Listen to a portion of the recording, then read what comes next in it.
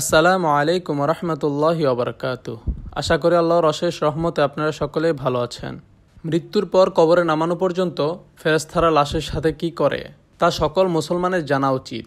আজরাইল যখন আত্মা কবচ করে নেন, তখন আত্মা দেহকে বলে, হে দেহ, আল্লাহ তোমাকে সুপ্রতিদান দিক।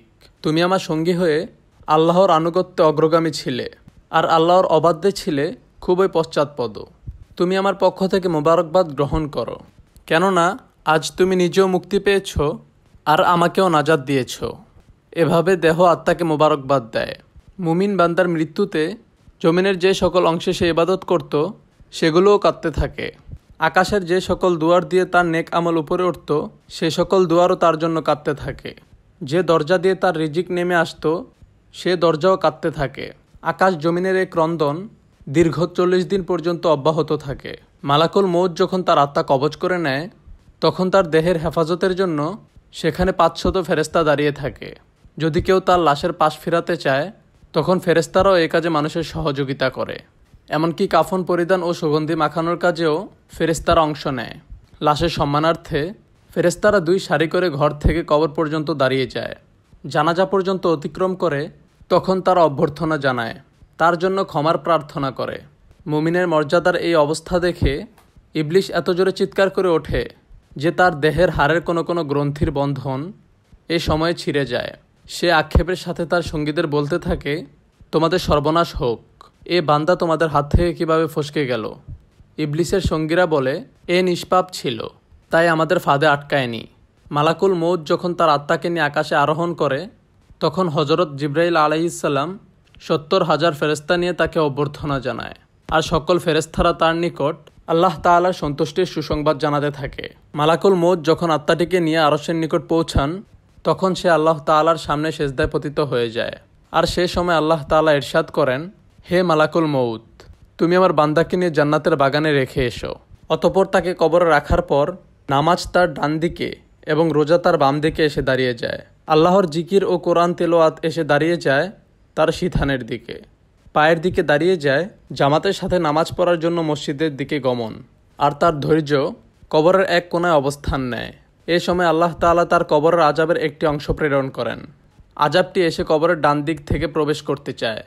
কিন্তু নামাজ এসে তাকে বাধা দিয়ে বলে আজাব তুমি পিছিয়ে যাও।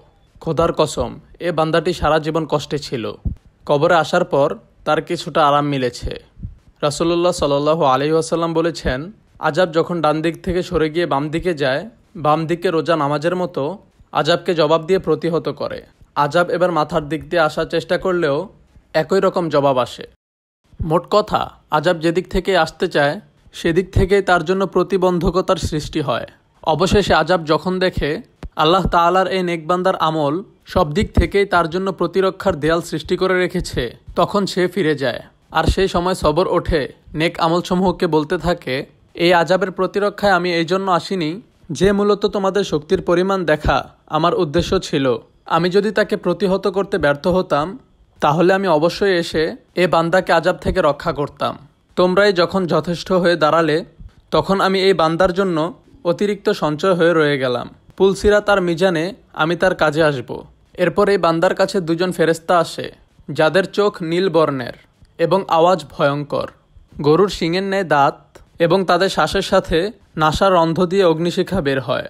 ফেরেস্তাদয়ের উভয় কাঁধের মধ্যবর্তী স্থান খুবই প্রশস্ত। তারা মুমিন বান্দা ছাড়া আর কারও উপর দয়া করতে জানে না। এই দুইজন ফেরেস্তাকেই মুনকান্নাকির বলা হয়। ওদের হাতে একটি হাতুড়ি থাকে। এটি এতই ভারী যে সকল মানবদানব মিলে একত্রিত হলেও তা উত্তোলন করতে সক্ষম হবে না। এই দুইজন ফেরেস্তা কবরে প্রবেশ করে লাশকে বলে উঠে বসো। লাশ তৎক্ষণাৎ উঠে বসে যায় এবং কাফনের কাপড় খুলে যায়। ফেরেস্তা তখন জিজ্ঞেস করেন, তোমার প্রভুকে তোমার ধর্ম কি?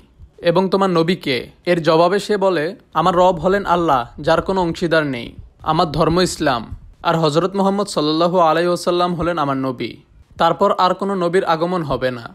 ফেরেস্তারা জবাব শুনে বলল, তুমি সত্য বলেছ। অতপর কবরকে চারদিক থেকে প্রশস্ত করে বলেন, তুমি উপরের দিকে একটু তাকিয়ে দেখো। সে উপরে তাকায়। তখন আকাশের শেষ সীমানা পর্যন্ত তার চোখের সামনে ভেসে উঠছিল। ফেরেস্তারা বলেন, হে আল্লাহর বন্ধু, এটা তোমার আবাসস্থলের ঠিকানা। আল্লাহর আনুগত্যের বিনিময়ে এটা তুমি পেয়েছ। বর্ণনার এই পর্যায়ে এসে রাসুল্লাহ সাল্লু আলহি ওয়াসাল্লাম বলেন, এই সত্তার কসম, যার মুঠোয় আমার প্রাণ। মুমিন বান্দার তখন এতই আনন্দ অনুভূত হয়, যা কখনো শেষ হবার নয়। অতপর ওই বান্দাকে আবার নির্দেশ দিয়ে বলা হয় যে, তুমি নিচের দিকে তাকাও। নিচের দিকে যখন সে তাকায় তখন সে দোজকের শেষ সীমানা পর্যন্ত তার দৃষ্টির গোচরে চলে আসে। ফেরেশতা তখন তাকে বলে, হে আল্লাহর প্রিয় বান্দা, এই ভয়ানক নরক থেকে তুমি নাজাত পেয়েছ। রসুল্লাহ সাল্লু আলী ওয়াসাল্লাম ইরশাদ করেছেন, ওই বান্দার এই সময় এমন প্রলোক হয় যা কখনো সমাপ্ত হবার নয়, অতপর জান্নাতের সাতাত্তরটি দরজা তার জন্য উন্মুক্ত করে দেওয়া হয়। এসব দরজা দিয়ে জান্নাতের সৌরভ এবং সুশীতল সৌমিরন তার কবরে পৌঁছাতে থাকে। এবং ততদিন পৌঁছাবে, যতদিন সে কবরে থাকবে। রাসুল্লাহ সাল্লু আলী ওয়াসাল্লাম আলোচনার ধারাবাহিকতা অবহত রেখে বলেন, এরপর আল্লাহ তালা মালাকুল মৌদকে নির্দেশ দিয়ে বলেন, তুমি আমার দুশ্মনের নিকট যাও এবং তাকে আমার কাছে নিয়ে আসো। আমি প্রাচুর্যের সাথে তাকে রুজি দিয়েছি, সীমাহীন নিরবতার বাড়িপাত করেছি তার উপর। কিন্তু সে আমার সাথে শুধু অবাধ্যতাই করে ফিরেছে। এবার এ দুশ্মনকে আমার সামনে হাজির করো। মালাকুল মত আল্লাহর নির্দেশ পেয়ে এমন কদাকার ভেসে ওই বান্দার নিকট আগমন করে যে কেউ কোনো দিন এ ভয়ঙ্কর আকৃতি দেখেনি। তার বারোটি চোখ থাকে। তার কাছে এমন একটি লঘু শলাকা থাকে, যার শাখা ও কাটা বিশিষ্ট। মালাকুল মৌতের সাথে আরও পাঁচজন ফেরেস্তা থাকে।